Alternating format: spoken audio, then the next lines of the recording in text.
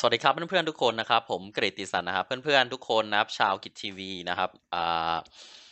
าชาว Bitcoin Thai Club นะครับแล้วก็ Crypto Trading Club แล้วก็เพื่อนๆคนอื่นนะครับที่สนใจในการลงทุนนะครับ แล้วก็เพื่อนๆไอทีคนอื่นด้วยนะครับ หรือว่าคนที่ใช้คอมพิวเตอร์ต่างๆนะครับวิดีโอนี้นะเป็นวิดีโอเกี่ยวกับเล่าเรื่องนะครับของไวรัสนะครับ ransomware นะครับ WannaCry นะครับเนี่ยนะครับชื่อของมันนะ WannaCry นะครับ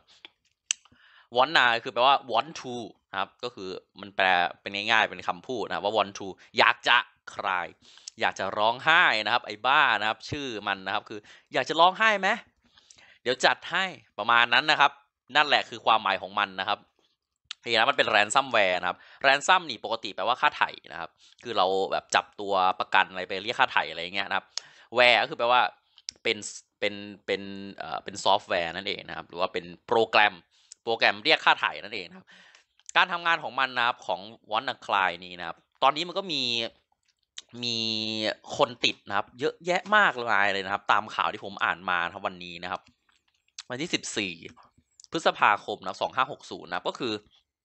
มีคอมพิวเตอร์ที่ติดแล้วประมาณ2 0 0 0 0 0เครื่องนะครับ เครื่องนะครับ2 0 0 0 0 0เครื่องนะครับ ซึ่งเยอะมากครับ ตอนนี้กำลังแพร่ระบาดอย่างจำนวนมากนะครับ เพราะฉะนั้นครับเราต้องรู้วิธีป้องกันนะครับ โอเคนะครับอธิบายก่อนนะว่ามันทำงานยังไงนะครับ อย่างแรกเลยนะครับก็คือนะครับไม่มันทำงานไงมันเป็นอย่างเดียวนี่แหละนะครับ ก็คือไฟล์นะครับพอพอโดเราติดไวรัสปุ๊บใช่ปะ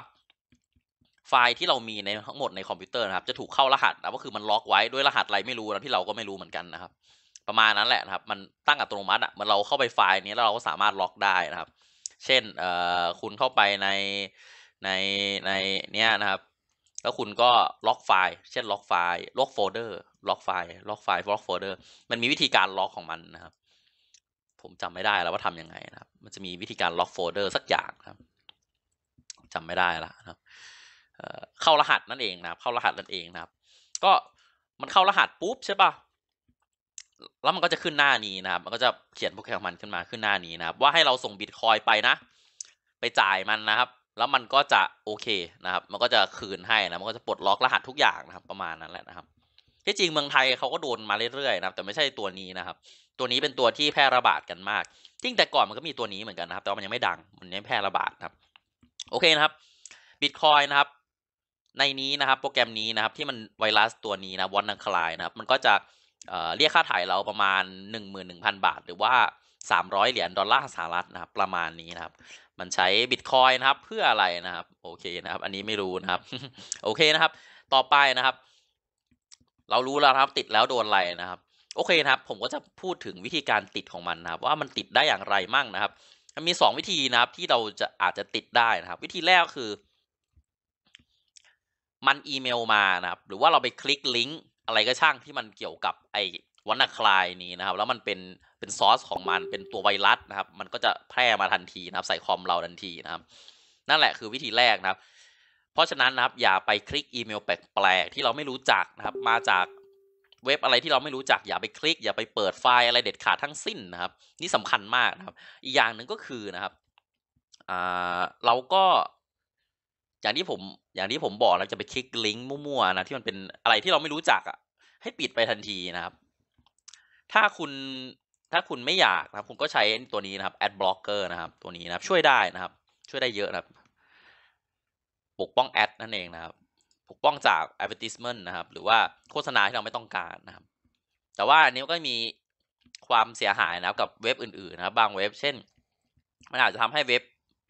ไม่มีอะไรนะรายรายได้อะไรเงี้ยนะครับ ก็ลดรายได้ของเขาไปนะครับ ผมก็เลือกบางเว็บที่ผมเชื่อใจ ผมก็จะเปิด ไม่ใช้ ad blocker นั่นเองนะครับ โอเคนะครับ คราวนี้นะครับเรารู้แล้ววิธีติดวิธีแรกคือเปิดไฟล์อีเมล หรือว่าลิงก์นะครับ วิธีติดวิธีที่สองคือมันแพร่มาทาง network นะครับ หรือว่าnetwork นั่นเอง คุณก็รู้ว่า network คืออะไรนะมันก็คือเครือข่ายอินเทอร์เน็ตนะครับที่อยู่ในบ้านเรานะครับ เช่นในบ้านเรานะครับ มีมีคนใช้คอมพิวเตอร์อยู่สามเครื่องนะครับ เครื่องหนึ่งเป็นแล็ปท็อปนะครับ อีกสองเครื่องเป็น PC ใช่ป่ะคราวนี้ลูกเรา หรือว่าหลานเรา หรือว่า พ่อแม่พี่น้องคนไหนก็ช่างนะครับ ใช้คอมพิวเตอร์สามหนึ่งในสามเครื่องนี้นะครับเราไปติดไวรัสมานะครับ เครื่องนี้นะครับ มันเป็นเครื่องที่โดนใช่ปะมันจะแพร่พันธุ์นะผ่าน network ของเรานะครับ ไปโดนตัวที่สองตัวที่สามทันทีนะครับ เพราะฉะนั้นอันตรายมากนะถ้าคุณโดนหนึ่งสองนะครับ ก็คือโดนโดนหมดทั้งบ้านอะถ้าโดนทีนะครับ เพราะฉะนั้นเราต้องมาป้องกันนะวิธีนะครับ วิธีป้องกันไวรัส WannaCry นะครับ ก็คือเราต้องไป disable นะครับไอ simple network อะไรนะประมาณนั้นแหละนะครับ โอเคครับมาดูนะครับ ก็ประมาณนี้แหละครับ มาดูนะครับเอ่อตรงไหนล่ะ เราก็เข้าไปที่ไฟล์นะครับ หานะครับ ตัวนี้นะครับสำหรับ Windows 10 นะครับ Turn นะครับ Windows Feature นะครับ On or Off นะครับ ประมาณนี้นะครับปุ๊บเราเข้าไปแล้วก็จะเจอไอ้นี่นะครับ เนี่ยนะครับ เราก็เลื่อนเลื่อนเลื่อนเลื่อนเลื่อนลงมาเรื่อยๆนะครับจนเจอ SMB นะครับ Server Management Board หรือเปล่าไม่แน่ใจเวอร์ชัน1.0 File Sharing ก็คือมันเป็นการ support นะครับของ Windows ในการแชร์ไฟล์ระหว่าง network นั่นเองครับไม่ระหว่าง network ระหว่างเครื่องคอมพิวเตอร์ใน network ของเรานะครับ เพราะฉะนั้นนะครับเนี่ยนะครับเราให้เราปิดไปนะครับ ปิดปุ๊บกดโอเค มันก็จะทำการดูตึ๊บตึ๊บตึ๊บตึ๊บแล้วมันก็บอกให้ restart หรือเปล่าเงี้ยเราก็ restart ไปแล้วก็จบนะครับ นี่คือวิธีการนะครับ ในการป้องกันนะครับ วิธีการที่ผมบอกวันนี้นะมันเป็นวิธีการป้องกันวิธีของการติดวิธีที่สองนะครับคือแพร่มาทาง network นะครับการติดวิธีแรกนี่คือ คุณอย่าไปเปิดอีเมล ไปเปิดลิงก์อะไรที่เราไม่รู้จักทั้งสิ้นนะครับ พวกนี้นะครับโดนมาเยอะแล้วนะครับ โอเคนะครับ ผมไม่เคยโดนนะโอเคนะครับสำหรับวันนี้ก็ขอบคุณมากนะครับที่ชมนะครับ ก็ประมาณนี้แหละนะครับ ขอบคุณจริงๆนะครับ เจอกันใหม่นะครับบ๊ายบายสวัสดีครับ